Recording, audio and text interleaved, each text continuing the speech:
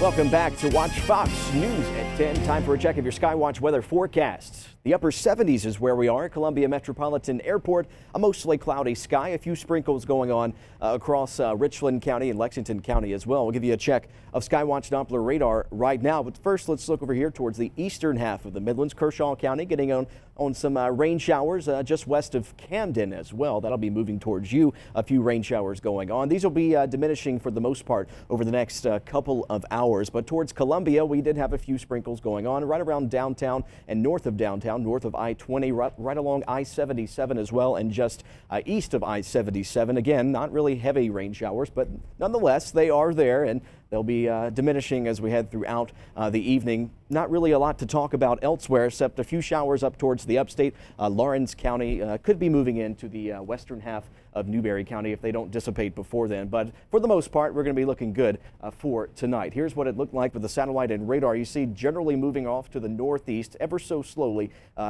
tonight's 10 p.m. hour. That'll be, uh, again, going down with time overnight tonight. So we want to take you out to the central Atlantic Ocean and show you the remnants of uh, what was Dorian a couple days ago. And you can see it not very impressive at all. Earlier today had a flare up of convection. Uh, they sent a hurricane hunter out there, aircraft, and they investigated, could not find a low level circulation to classify it as a tropical cyclone. They did find a 40 mile per hour wind gust, but that's about it. It does need to have that westerly wind and a counterclockwise flow to become a tropical storm. We'll see what happens over the next uh, couple of days. But a time lapse from Orangeburg today on our Ferry Chevrolet HD Weatherbug Network uh, camera here. Very nice shot with a towering cumulus clouds off on the left side of your screen. But right now, again, 79 degrees in Columbia, the low 70s in Camden, uh, the upper 70s in Newberry, the upper 70s in Orangeburg as well. So a cold front's been pretty stubborn. It's not very mo moving uh, that much here, and that's what's popping off uh, these little showers. Uh, tonight, you see some more rainfall, uh, rainfall back to our northwest. We'll have more rain chances on our seven day planner thanks to another cold front coming our way. But tomorrow, wait, if you're going to the airports, it's going to look nice in the northeast, the mid 80s in Newark, the low 80s in D.C., the upper 80s to right around 90 degrees across the, the Midlands and parts of uh, Atlanta, uh, 96 degrees in Dallas, and the mid 90s in Houston. Here's Future Watch, what it thinks the radar will look like over the next uh, day or so. Uh, here we go, about a 30% chance of a shower or storm uh, for Monday. I believe this is popping up on the cold front. It could be a little bit less than this. This is being a little excessive I believe. But as we head through Tuesday as well, we're going to give it about a 20 to 30 percent chance of that uh, convection starting to pop up in the afternoon hours.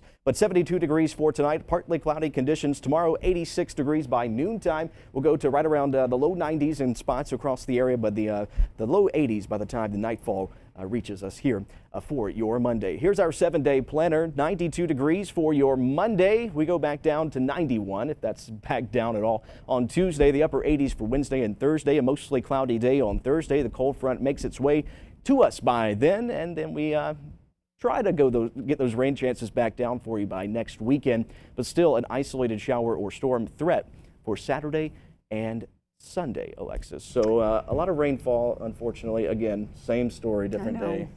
And Dorian just seems like a stage five clinger. It's like she the tries ghost to. of Dorian. Yeah, it's like she disorganized and then it's like, wait, I'm feeling better. It was amazing this morning. The convection just popped back up and now it's going back down. So everybody's like, what? What's going on? Like, we don't know what's going on with Dorian. Also, let me ask you uh. this. We're on um, the D names. Are mm -hmm. we mm-hmm. on track as far as the number of storms that we would typically see this time of year? We get 10 to 12 in the Atlantic Basin on average every year. And so this is right around, we're getting into the active uh, part of the hurricane season. The climatological peak is September 10th. Okay. And so that's when we typically see a lot of stuff going on. So, so are the we next still name in the, is Erin. Are we still in the building phase? Like we're building yeah, toward we're, more and more storm activity? We're still going where we should be. Okay, well, and with the rivers swollen the way they are and storms coming mm -hmm. for this mm-hmm. season. We don't need them.